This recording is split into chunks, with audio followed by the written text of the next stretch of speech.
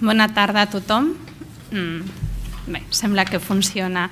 Bé, en primer lloc, eh, volem agrair al CECFE la seva gran labor que fa de promoció i de divulgació de la recerca. La veritat que estem molt agraïts i molt contents d'haver rebut aquests dos ajuts i a més molt motivats per a demanar de l'altres. No? O sigui que bueno, eh, aquest camí continuarem i esperem seguir fent recerca al vostre costat. També eh, estem agraïts d'haver-nos convidat a participar en aquesta sessió d'investigació. Doncs moltes gràcies.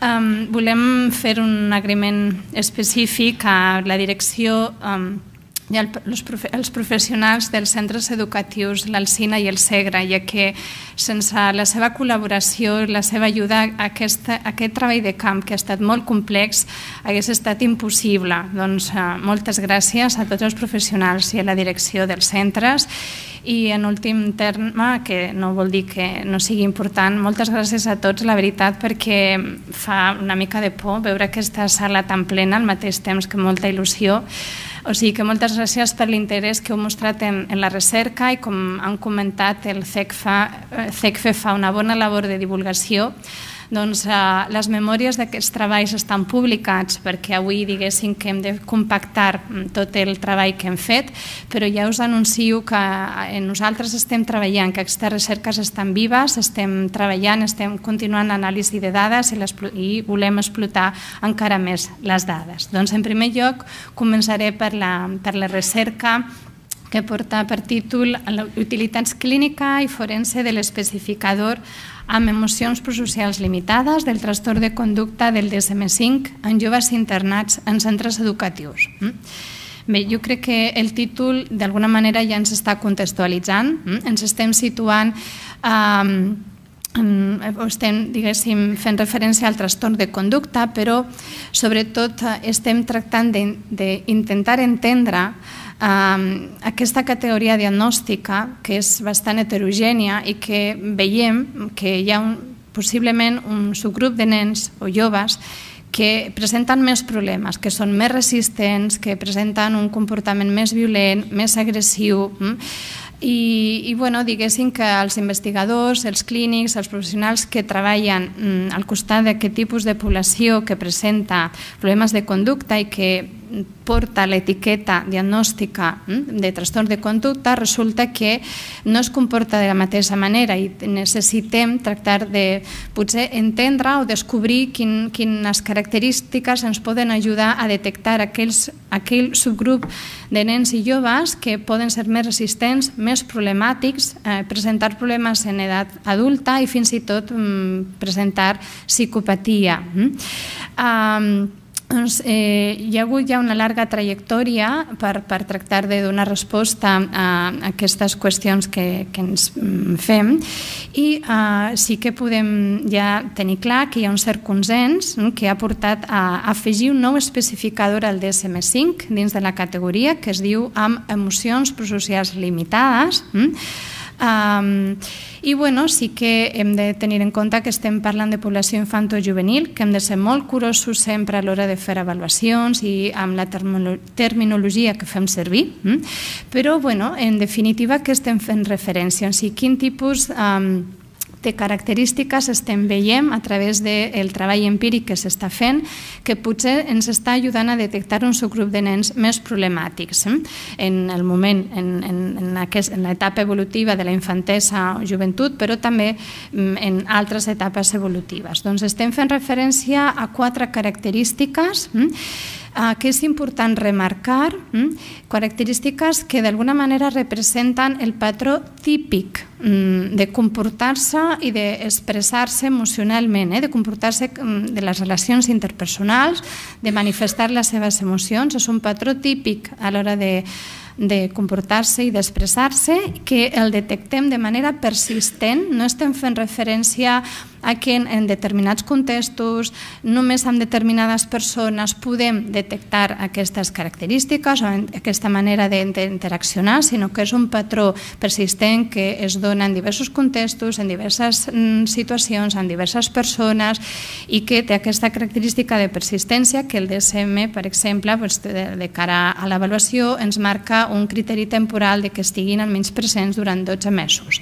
Però per a l'hora d'assignar el diagnòstic mm, només necessitem que hi hagi eh, que estiguin presents dues d'aquestes quatre característiques, el que no invalida o, o d'alguna manera que aquí ja també podem seguir fent recerca, no? ens podem trobar amb nens o joves que poden tenir dues, tres, quatre, eh? o sigui que aquí també hi ha diferències. Bé, doncs aquestes quatre característiques eh, serien la falta de remordiment, falta de culpabilitat, la eh, insensibilitat, manca d'empatia, la despreocupació per el rendiment i, per últim, l'efecte superficial o deficient. Eh? És important tenir present aquestes quatre característiques que, en principi, apunta que ens ajudarien a distingir un grup homogeni dins dels nens i joves que presenten un trastorn de conducta. Un grup homogeni més problemàtic, més persistent, amb risc de tenir un comportament antisocial en l'edat adulta, amb risc de presentar psicopatia i que potser el que ens està dient també és que hem de començar a pensar en, en dissenyar alternatives terapèutiques o estratègies de prevenció que donin resposta a determinades característiques particulars hm, que no són compartides per tot el grup de nens que presenten el trastorn de conducta. Um, insisteixo en recordar aquestes quatre característiques que tenen a veure amb el remordiment, l'empatia, la despreocupació per el, el, el rendiment, eh, i l'efectivitat, perquè aquestes quatre característiques, si potser no es veu bé des del fons de la sala, però estan fent referència en gran part a la faceta 2, la faceta afectiva del constructe multidimensional de psicopatia en l'edat adulta. Eh? El constructe mesurat a través de la PSLR, que eh, està composat per quatre facetes, doncs quan estem fent referència a aquest nou especificador del trastorn de conducta, que li diem emocions prosocials limitades en població infantojuvenil, en gran part estem fent referència a la faceta afectiva del constructe de psicopatia en l'edat adulta. Mm? Bé, doncs aquest interès per, per, precisament per descobrir un grup homogeni de, de joves dintre del trastorn de conducta i també per entendre um, uh, la psicopatia, eh, per tractar de buscar els arrels de la psicopatia, doncs eh, un dels referents en, en, en el món científic és el doctor Paul Frick, hm, que ja porta dècades, i no només ell, sinó ja molts investigadors, i que d'alguna manera han portat a acceptar mm, el model dels tres dies, els tres de duresa en sensibilitat afectiva, com un possible precursor de la faceta afectiva, perquè d'alguna manera s'ha pogut mm, comprovar empíricament que els nens i els joves que presenten aquestes característiques de duresa i sensibilitat afectiva, al mateix temps, el que d'alguna manera um, ens indica és que aquests nens és més probable que també presenten un inici primerenc del trastorn de conducta, que presentin un, una, una conducta més agressiva, més persistent, eh? Més problemàtica. També s'ha detectat que presenten unes característiques determinades a nivell cognitiu, a nivell emocional, determinats trets de personalitat que els diferencien d'altres nens que també presenten problemes de conducta. Mm? Doncs mm, diguéssim que eh, tota la trajectòria que hi ha hagut ja des de fa dècades al voltant del, de l'estudi dels trets de dura sensibilitat afectiva ha portat a incloure el DSM-5 aquest nou especificador, el que sí que és important tenir en compte que això no vol dir que en futures edicions potser s'hagin d'incloure més especificadors o fins i tot un únic que englobi eh, d'alguna manera com diferents trets, no només els trets de duresa i inseguretat afectiva, que com us comentava abans, fan referència a la faceta afectiva de la psicopatia. Mm? Bé, doncs el repte està en eh, tenir en comptar amb instruments d'avaluació que ens permetin d'alguna manera mm, acabar dient si un nen, un jove, presenta o no aquest nou especificador. Mm? Doncs avui en dia contem amb un, un nou mètode que està en procés de desenvolupament, que l'autor és el doctor Paul Frick. Es tracta d'una entrevista en format semiestructurat, però que finalment a l'hora de decidir si està present o no present l'especificador també s'ha de consultar i s'ha de tenir en compte molt la informació col·lateral per a finalment emetre un judici clínic. És important eh, comentar que quan dic entrevista en singular no vol dir que només s'ha d'administrar una entrevista i una font d'informació, sinó que com a mínim hem d'administrar l'entrevista a dues fonts d'informació. En el cas que el, el nen sigui jove, que sigui, tingui una edat inferior als 10 anys, hm? perquè aquest instrument pot mesurar l'especificador entre els 3 i, el 20, i els 21 anys, hm? doncs si el nen és jove, el que es recomana és que s'administri l'entrevista com a mínim a un dels dos pares o a tots dos i, per exemple, al mestre. Eh? En el cas de que el jove sigui, ja tingui 10 o més anys, se recomana fer servir el format que hi ha específic per al jove i també com a mínim un dels pares. Hm? Però eh, diguéssim que mar es marquen uns mínims però no es marquen uns màxims. És a dir, que el clínic, quan està avaluant, si considera que necessita més fonts d'informació, pot, sense cap problema, administrar l'entrevista a més professionals, eh? perquè tots sabem que és bastant habitual trobar discrepàncies, vull dir que no coincideixin determinades informacions, doncs, i aquí és el gran repte del, del clínic, no? a l'hora finalment de decidir si està present o no està present l'especificador. Mm. Bé, doncs... Oi, a veure...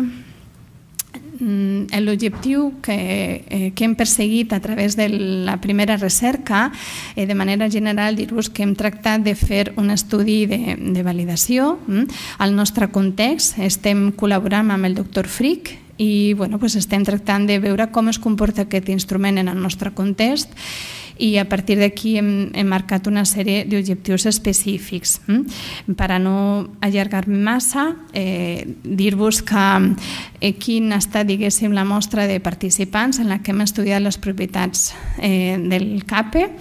Eh, la mostra està formada per 77 joves de sexe masculí, mm? amb edats entre 15 i 22 anys, que estaven complint una mesura d'internament en, en un dels dos centres de justícia juvenil que he comentat abans, l'encina i el segre. Mm?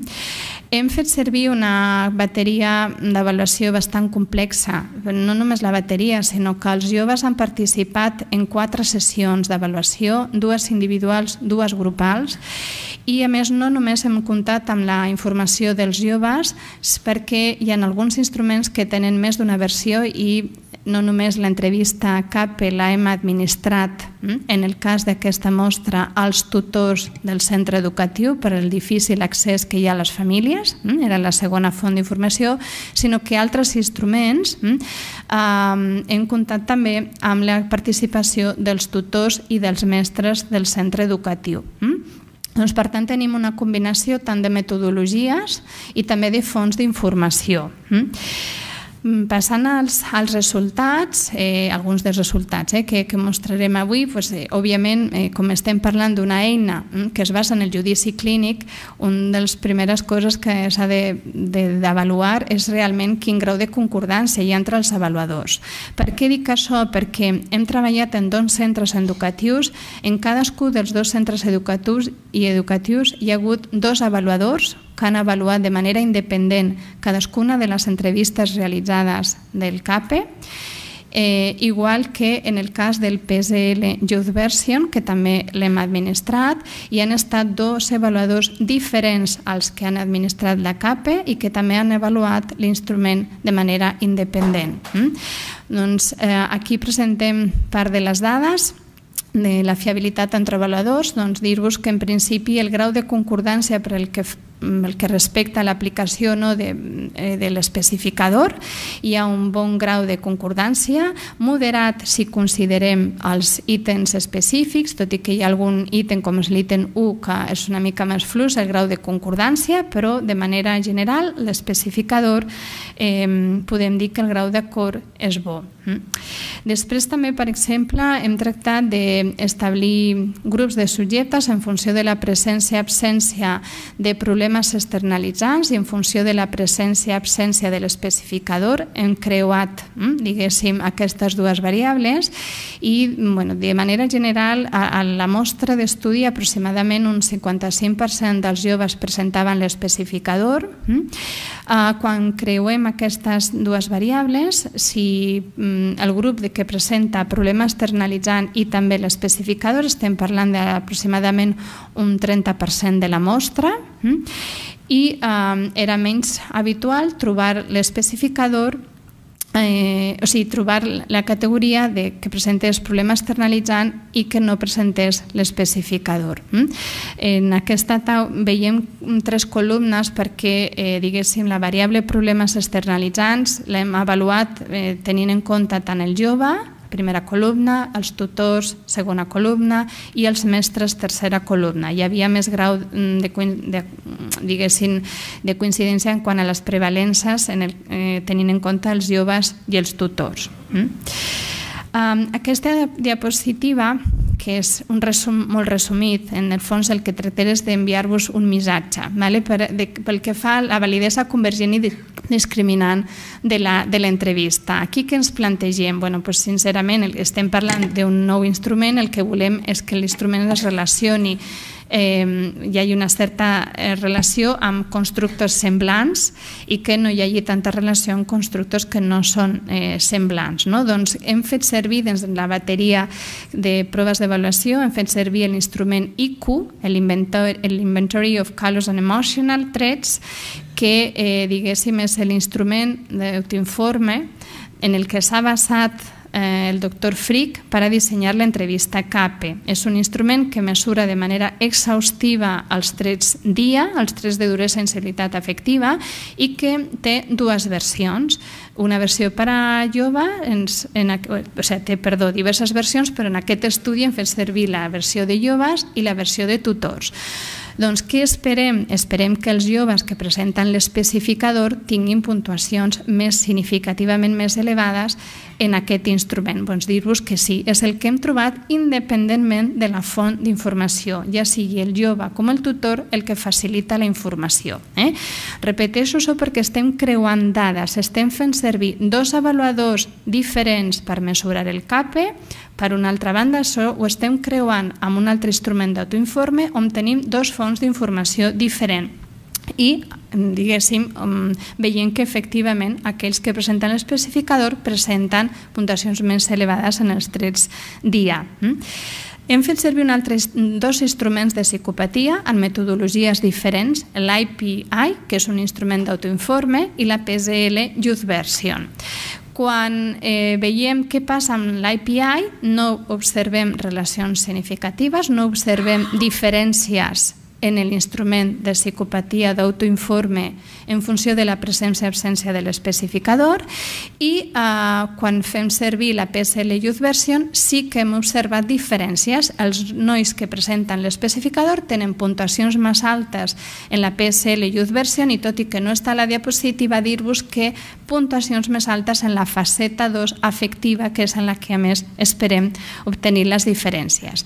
Per últim, eh, il·lustrarem dos efectes efectes que hem trobat hm, per veure si es complia d'alguna manera la hipòtesi de que aquells joves que presentaven de manera concomitant problemes externalitzants i l'especificador presentaven més problemes, doncs sí que trobem a la, la figura que la línia blava, si mirem cap a, cap a dalt, d'alguna manera representa hm, la conducta eh, antinormativa del grup que sí que presenta de manera concomitant eh, concomitant problemes externalitzants i l'especificador. Els joves que presenten aquestes característiques presenten puntuació més alta en conducta antinormativa, es distingeixen de la resta de grups. Mm? El mateix passa quan estem parlant de l'agressió proactiva, l'agressió instrumental. Els joves que presenten tant problema externalitzant com l'especificador es distingeixen dels altres grups i presenten puntuacions més altes en agressió proactiva, agressió de tipus instrumental. Bé, doncs eh, aquí concluïm eh, algunes dades que hem obtingut en l'estudi, que ja insisteixo en que està viu eh, i doncs estem, continuem actualitzant les dades. Sí que, bueno, d'alguna manera, recordar eh, a tots que el CAPE 1.1 és un mètode que està en fase de desenvolupament. Fins al nostre coneixement sí que sabem que hi ha altres grups que ja estan treballant, però encara no hi ha cap publicació dins de la literatura científica sobre la seva validació. Aquest estudi preliminar, en principi, mostra resultats prometedors en suport de la seva fiabilitat i validesa com a eina per a l'avaluació clínica eh? clínica de l'especificador emocions prosocials limitades en joves infractors. Eh? I doncs, a partir d'aquí, clar, el repte està en aconseguir mm, tornar a repetir i a replicar eh, i ampliar la grandària de la mostra, veure també què passa, fer un estudi de seguiment en les joves que han participat en aquest estudi per poder veure la validesa predictiva del KP 1.1 i replicar l'estudi també en altres tipus de mostra. Doncs fins aquí, eh, moltes gràcies. Eh, acabaria la primera explicació. Sí?